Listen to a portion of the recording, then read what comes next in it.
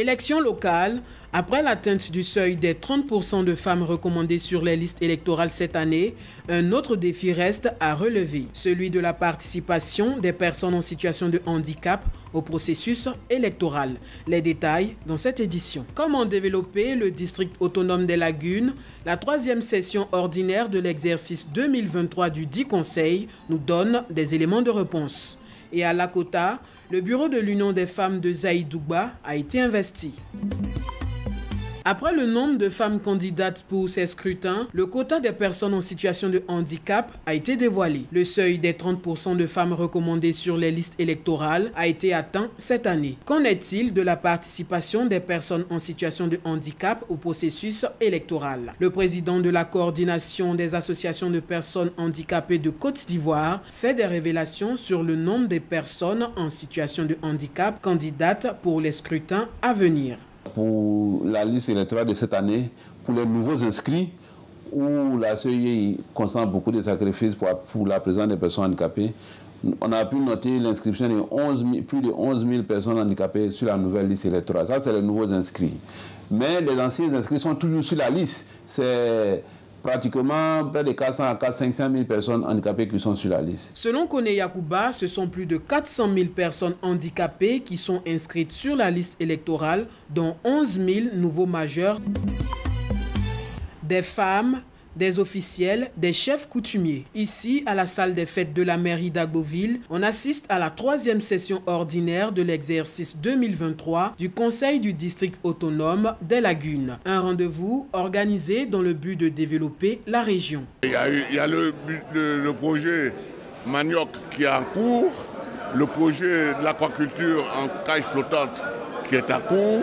Nous sommes au travail, nous sommes à l'écoute des populations et nous prenons en compte les déshydratats qui sont exprimés par les populations. Plusieurs projets sont donc en cours pour attirer les investisseurs et accroître le développement de cette vaste région de la Côte d'Ivoire. Point par point, les participants, membres du conseil, ont pu exposer des projets d'études. Notons que le district autonome des lagunes compte plusieurs grandes villes dont Agboville, Dabou et Adzopé.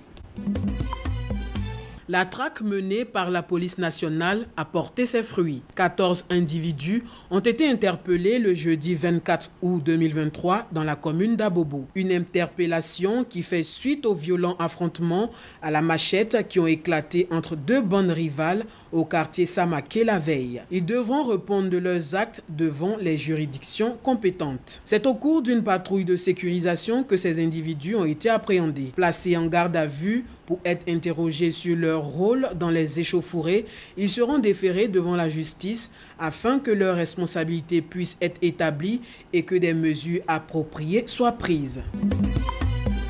Le bureau de l'Union des femmes de Zaïdouba dans la sous-préfecture de Niabezaria a été investi. La cérémonie a été parrainée par le directeur de la communication du ministère des Affaires étrangères, Sam Wakouboué. La présidente de cette fêtière, qui comporte plusieurs associations féminines, a relevé le caractère cosmopolite de ce village tout en exprimant son souhait que cela demeure. Elle a par ailleurs appelé les femmes du canton Tigrou à l'union pour une autonomisation. La manifestation s'est déroulé en présence de Ricardo Zama, journaliste sportif à la RTI et chef de village de Zaïdouba. Je souhaiterais que toutes les femmes du canton Tigrou soyons fortes, unies. Pour sa part, le parrain Sam Wakouboué s'est félicité des efforts consentis par le bureau de cette union pour fédérer les femmes et surtout perpétuer le vivre ensemble qui lui est si cher.